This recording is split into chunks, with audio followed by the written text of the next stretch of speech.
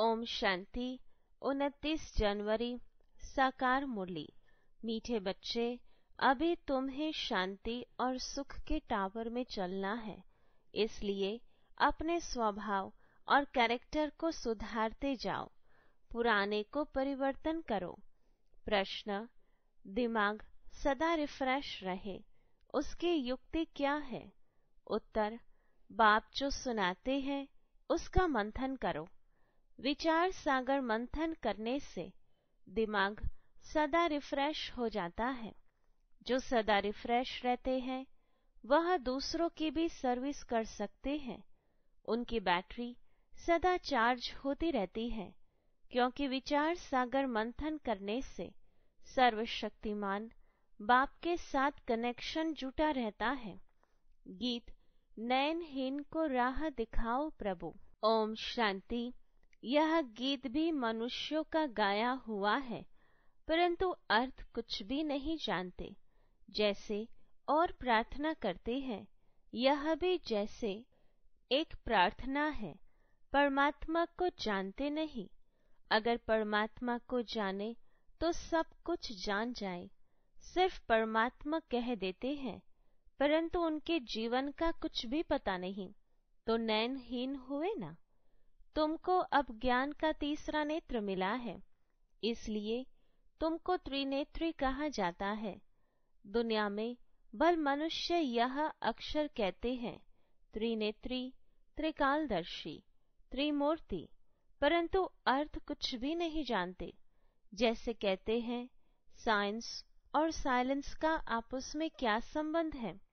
बल प्रश्न पूछते हैं, उत्तर खुद भी नहीं जानते। कहते हैं, वर्ल्ड में पीस हो, परंतु वह कब हुई थी? किसने की थी? कुछ भी नहीं जानते। सिर्फ़ पूछते रहते हैं तो ज़रूर कोई जानने वाला चाहिए जो बताए। तुम बच्चों को बाप ने समझाया है, यह सब खेल बना हुआ है। टावर ऑफ़ पीस सुख का टावर सबका टावर होता है। शांति का टावर है मूल वतन जहाँ हम आत्माएँ रहती हैं, उसको कहेंगे टावर ऑफ़ साइलेंस फिर सतयुग में है टावर ऑफ़ सुख टावर ऑफ़ पीस प्रॉस्पेरिटी ऐसे कोई मुख से नहीं कहेंगे कि हम आत्माओं का घर मुक्ति धाम है। यह सब बातें बाप ही समझाते हैं। टीचर हो तो ऐसा हो, वह है टावर ऑफ़ नॉलेज तुमको भी शांति और सुख के टावर में ले जाते हैं। यह फिर है, टावर ऑफ़ दुख दाम। हर बात में इंसॉल्वेंट है। पवित्रता, सुख शांति का वर्षा, तुम इस समय ही पाते हो। बलिहारी, इस पुरुषोत्तम संगम युग की है। इनको कल्याणकारी युग कहा जाता है। कलयुग के बाद फिर होता है सतयुग। वह सुख का टावर है वह शांति का टावर है यह दुख का टावर है। यहाँ अथा दुख है। सब दुख आकर इकट्ठे हुए हैं। कहते हैं ना, दुख के पहाड़ गिरते हैं। जब अर्थक्वेक आदि होती है तो कितना त्राही त्राही करते हैं। बाप ने समझाया है, बाकी टाइम थोड़ा है। बच्चों को याद की यात्रा में टाइम लगता है। बहुत है। जो पूरा समझते ही नहीं। बिंदी समझे, क्या समझे? अरे जैसी आत्मा है, वैसे ही परमात्मा भी है। आत्मा को जानते हो ना? वह लकी सितारा है। बिल्कुल सूक्ष्म है। इन आँखों से नहीं देख सकते हैं। तो यह सब बातें बाप समझाते हैं। ऐसी बातों पर विचार सागर मंथन करने से भी दिमाग रिफ्रेश हो जाता है। कहाँ भी जाएँगे तो समझेंगे कि टावर ऑफ़ शांति टावर ऑफ़ सुख टावर ऑफ़ पवित्रता है ही न्यू वर्ल्ड में पुराने स्वभाव को कैरेक्टर्स को सुधार कर बाप नई दुनिया का मालिक बनाते हैं। मनुष्य भल गाते हैं, वेद शास्त्र, गीता आदि पढ़ते हैं, परंतु समझते कुछ भी नहीं है। सीढ़ी तो नीचे उतरते ही आते हैं। भल, अपने को शास्त्रों की अथॉरिटी समझते हैं, परंतु उनको उतरना ही है। आत्मा पहले सबकी सतो प्रदान होती है, फिर धीरे धीरे बैटरी खलास हो जाती है। इस समय सबकी बैटरी खलास है। अब फिर बैटरी चार्ज होती है। बाप कहते हैं मन मना भाव। अपने को आत्मा समझो। बाप है सर्वशक्तिमान। उनको याद करने से तुम्हारे पाप कट जाएँगे और फिर बैटरी भर जाएगी। तुम अभी फील कर रहे हो। हमारी बैटरी भर रही है। कोई की नहीं भी भरती है। सुधरने के बदले और ही बिगड़ जाते हैं। बाप से प्रतिज्ञा भी करते हैं। बाबा हम कभी विकार में नहीं जाएँगे। आपसे तो 21 जन्मों का वर्षा ज़रूर लेंगे, फिर भी गिर पड़ते हैं। बाप कहते हैं काम विकार पर जीत पाने से, तुम जगत जीत बनेंगे। फिर अगर विकार में गया तो अक्ल चट, यह काम महाशत्रु है। एक दो को देखने से काम की आग लगती है। बाप कहते हैं, तुम काम चिता पर बैठ सांवरे बन गए हो। अब तुमको गोरा बनाते हैं। ये बाप ही तुम बच्चों को समझाते हैं। पढ़ाई से तुम्हारी बुद्धि खुलती है। झाड़ का वर्णन भी करते हैं। यह है कल्प वृक्ष। मनुष्य सृष्टि का वैरायटी झाड़। उनको उल्टा झाड़ कहा जाता है। कितने वैरायटी धर्म है। इतनी करोड़ों आत्माओं को अविनाशी पाठ मिला हुआ है। दो का एक जैसा पाठ हो न सके। अभी तुमको ज्ञान का तीसरा नेत्र मिला है। विचार करो कितने ढेर आत्माएँ हैं।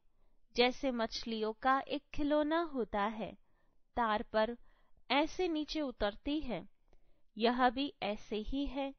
हम भी ड्रामा की रस्सी में बंधे हुए हैं। ऐसे उतरते उतरते कल्प आकर पूरा हुआ है। फिर हम ऊपर जाते हैं। यह समझ भी बच्चों को अब मिली है। ऊपर से आत्माएँ आती है नंबरवार ऐड होती जाती है। इस खेल में तुम पार्टधारी हो। मुख्य क्रिएटर, डायरेक्टर, एक्टर होते हैं ना? मुख्य तो है शिव बाबा। फिर कौन से एक्टर है? ब्रह्मा, विष्णु, शंकर। भक्ति मार्ग वालों ने अनेक चित्र बनाए हैं। परंतु अर्थ का कुछ भी पता नहीं। लाखों वर्ष कह देते हैं। अब आप आकर सारी नॉलेज देते हैं। अब तुम समझते हो, सतयुग में यह ज्ञान हमको नहीं होगा। जैसे यहाँ कारोबार चलती है, वैसे वहाँ पवित्रता, सुख शांति की राजधानी चलती है। बाप भी वंडरफुल है। इतनी छोटी बिंदी है। जैसे तुम्हारी आत्मा, ऐसे इनकी आत्मा भी बाप से सारा ज्ञान ले रही है। बाबा, फिर बड़ा थोड़े ही होगा। वह भी बिंदी है। तुम्हारी आत्मा जो बिंदी है, उनमें सारा ज्ञान धारण हो रहा है। यह ज्ञान कल्प के बाद फिर बाप देंगे। जैसे रिकॉर्ड भरा हुआ होता है। जो रिपीट होता है ना, आत्मा में भी सारा पार्ट भरा हुआ है। कोई बहुत वंडरफुल बात होती है तो उनको कुदरत कहा जाता है। इस अनादि ड्रामा के पार्ट से एक भी छूट नहीं सकता। सबको पार्ट बजाना ही है। यह बड़ी वंडरफुल बातें हैं, जो अच्छी रीति समझकर धारण करते हैं। तो खुशी का पारा चढ़ता है। तुमको कितनी स्कॉलरशिप मिलती है तो पुरुषार्थ अच्छी रीति करना चाहिए। आप समान बनाना है, तुम सब टीचर हो। टीचर तुम्हें पढ़ाकर आप समान टीचर बनाते हैं। ऐसे नहीं कि गुरु भी बनना है। नहीं, तुम टीचर बनते हो, क्योंकि राजयोग सिखलाते हो। फिर तुम चले जाएँगे। यह भी तुम समझते हो। वो लोग तो जानते नहीं, न सदगति दे सकते हैं। सर्व का सदगति दाता तो एक बाप है ना? लिबरेटर गाइड भी वही है। जब तुम वहाँ से आते हो तो बाप गाइड नहीं बनता है। बाप गाइड भी अभी बनता है। जब तुम घर से आते हो तो घर को ही भूल जाते हो।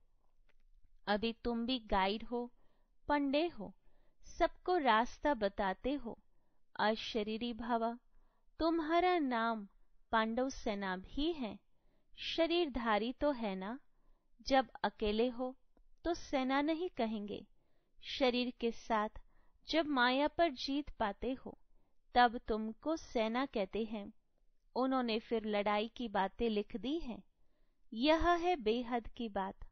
वो लोग कॉन्फ्रेंस आदि करते हैं। संस्कृत आदि के कॉलेज खोलते हैं। कितना खर्चा करते हैं। खर्चा करते करते जैसे कि खाली हो पड़े हैं।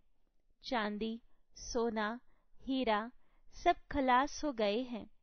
फिर तुम्हारे लिए सब कुछ नया निकलेगा। तो तुम बच्चों को चलते फिरते बहुत खुशी होनी चाहिए। बाप को और वर्षे को याद करना है। तुम्हारा पाठ चलता रहता है, कभी बंद होने वाला नहीं है। बाप समझाते हैं, तुम अपने जन्मों को नहीं जानते हो।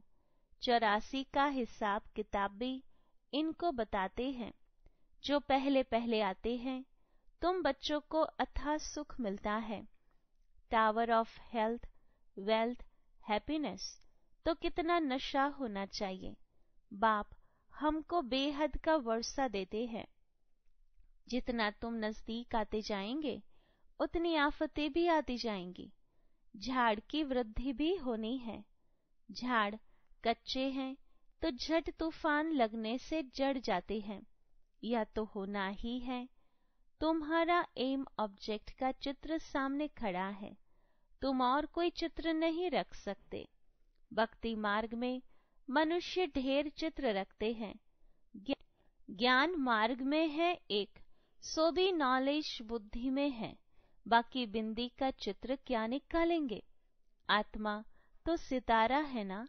यह भी समझने की बातें हैं। आत्मा को तो इन आँखों से देख नहीं सकते। बहुत कहते हैं, बाबा, हमको साक्षात्कार हो, वैकुंठ देखे, परंतु देखने से मालिक थोड़े ही बनेंगे। मनुष्य कहते हैं, फलाना स्वर्ग पधारा परंतु स्वर्ग है कहाँ? जानते थोड़े ही हैं।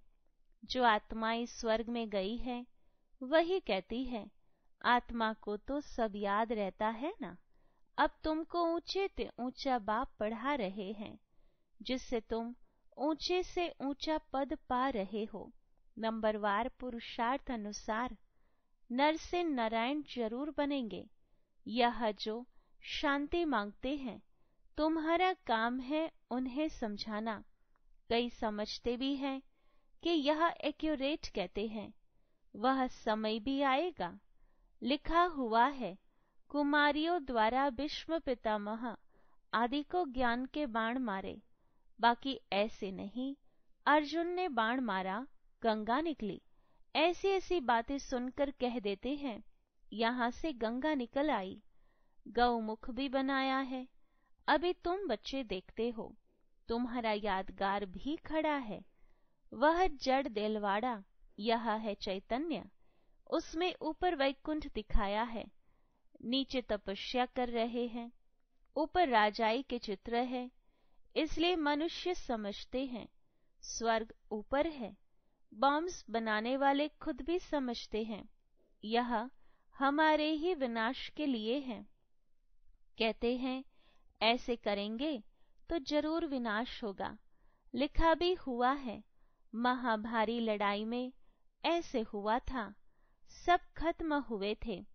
सतयुग में है ही एक धर्म तो ज़रूर बाकी सब खत्म हो जाएँगे। यह भी बच्चे जानते हैं, भक्ति करते करते नीचे उतरते ही आते हैं, ड्रामा प्लान अनुसार। वास्तव में यहाँ कोई आशीर्वाद आदि की बात नहीं है। जो ड्रामा में बना हुआ है, वही होता है। कुछ ऐसी बात हो जाती है तो मनुष्य कह देते हैं, जो ईश्वर की इच्छा, तुम ऐसे नहीं कहेंगे। तुम तो कहते हो भावी ड्रामा की। तुम ईश्वर की भावी नहीं कहेंगे। ईश्वर का भी ड्रामा में पार्ट है।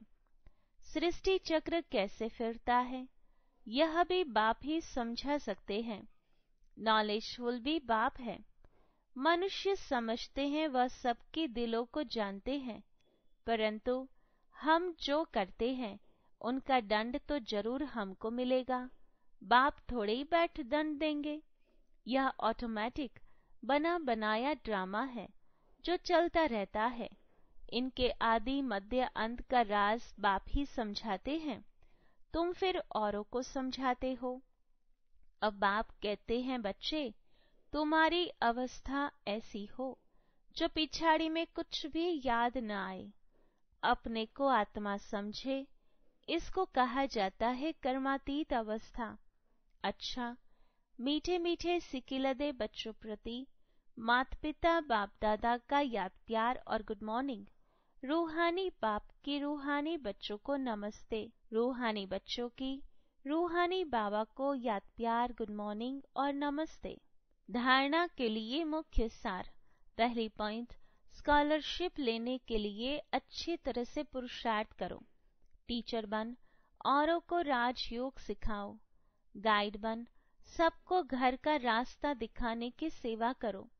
दूसरी पॉइंट सर्वशक्तिमान बाप की याद से अपनी बैटरी चार्ज करनी है।